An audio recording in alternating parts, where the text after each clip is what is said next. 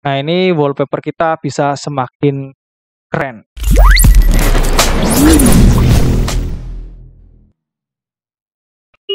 Halo warga digital, terima kasih sudah bertamu di channel ini. Nah, kali ini saya akan membantu kalian bagaimana cara merubah wallpaper di Windows 10 atau Windows 11 kalian, di laptop Windows 10 atau Windows 11 kalian, itu menjadi bergerak, jadi tidak membosankan.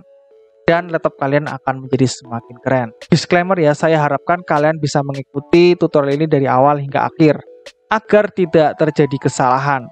Karena jika terjadi kesalahan saya yang nggak enak gitu loh. Jadi kalian lebih baik ikuti tutorial ini dari awal hingga akhir. Nah langkah pertama silakan kalian cek kolom deskripsi video ini. Nah di situ ada web namanya Lively Wallpaper. Lively Wallpaper. Nah jika sudah kalian klik maka akan tampil tampilan seperti ini nah kemudian kita klik download saja nah di sini kita download, klik yang ini ya, installer. Kita klik yang ini dan tunggu hingga proses download selesai. Di sini ukurannya 195 MB. Kita tunggu saja hingga selesai. Nah, jika sudah terdownload, silakan kita klik saja ini. Kemudian kita klik run, kita install. Nah, jika muncul seperti ini nih, kita klik install for me only. Nah, kemudian kita pilih bahasanya, kita menggunakan bahasa Inggris. Kita klik OK. Dan muncul seperti ini nih, kita klik next. Dan kita ubah menjadi ini. Kemudian kita klik next. Kemudian kita klik next lagi. Nah, jika muncul seperti ini, kita klik next lagi. Kemudian kita klik install dan tunggu hingga proses instalasi selesai.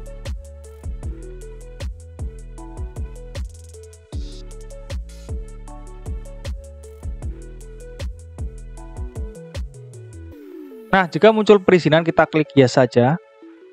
Nah, ini sedang proses instalasi Visual C++. Jadi tadi kan muncul perizinan, kita klik yes, nanti akan melakukan proses penginstalan Visual C++. Nah, di sini ada perizinan lagi nih, kita klik saja. Nah, jika ada perizinan lagi kita cukup klik yes saja. Nah, ini sedang proses instalasi Netcore 3.1.21.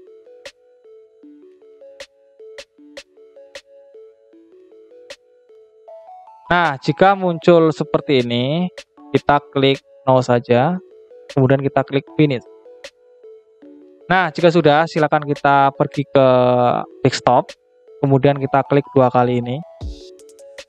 Nah, jika muncul seperti ini nih, kita klik tetap jalankan saja. Nah, ini sudah muncul nih aplikasinya. Kita klik next. Dan kita klik ini on kan ya, terus kita klik next. Nah, kemudian kita klik next lagi. Dan ini taskbarnya kita mau pilih yang mana nih? kalau saya off saja jadi saya terfokus ke wallpaper saja. Kemudian kita klik next. Nah jika sudah muncul seperti ini kita klik finish the setup to continue. Nah kita klik ini. Nah kemudian kita tadi klik ini ya. Kita pilih yang ini terus kita klik yang ini. Kita klik aplikasinya nah di sini sudah muncul aplikasinya Nah, di sini kita bisa pilih nih, kita akan menggunakan wallpaper yang apa. Misalkan ini saya coba menggunakan wallpaper bawaannya ya. Jadi bawaan lefty wallpapernya. Misalnya di sini saya akan menggunakan wallpaper ini. Nah, kita centang saja tetap jalankan. Nah, maka wallpaper kita akan terganti. Nah, akan terganti seperti ini. Nah, misalkan kita tidak suka dengan wallpaper bawaannya, kita bisa menggunakan wallpaper lainnya. Jadi kita cukup download wallpaper, kalian bisa cek link yang ada di kolom deskripsi video ini. Nah, di situ nama linknya itu ini, My Life Wallpaper. Nah, di sini kalian bisa download wallpaper sesuka dengan hati kalian. Nah, misalkan di sini saya ingin mendownload wallpaper yang berkaitan dengan game. Kita search aja di sini game. kemudian kita pilih ini dan tunggu hingga proses pencarian selesai. Nah, di sini sudah ada beberapa wallpaper nih. Nah, sepertinya saya suka dengan wallpaper Iron Man ini. Kita klik saja ini. Nah, jika sudah, kita bisa apply. Oh, ternyata seperti ini, lumayan keren. Kemudian kita download saja. Nah, di sini kita download yang wallpaper for desktop download yang ini. Ini ukurannya 16 MB cukup besar ya. Dan tunggu hingga proses download selesai. Nah, jika sudah selesai, kita bisa open to in folder. Nah, kita simpan di folder download ya ini ya. Nah, kemudian kita buka lagi aplikasi yang tadi. Nah, kita arahkan ke menu plus ini, add wallpaper, kemudian kita browse. Nah, setelah itu kita pergi ke folder download. Nah, di sini ada folder download. Nah, kemudian kita pilih ini. Kemudian kita klik open. Nah, jika muncul seperti ini kita klik OK saja. Dan tunggu hingga proses instalasi wallpaper selesai. Nah, ini sudah selesai. Kita klik saja ini.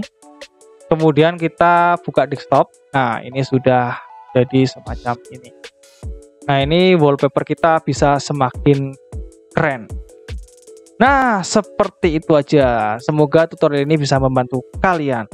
Nah, jika kalian terbantu dengan video ini, mohon klik tombol like dan subscribe. Karena dengan subscribe, maka channel ini akan semakin berkembang dan kalian akan terus terbantu dan terhibur dengan video-video selanjutnya. Nah, jika kalian itu masih mengalami kendala, silakan kalian tinggalkan komentar di video ini.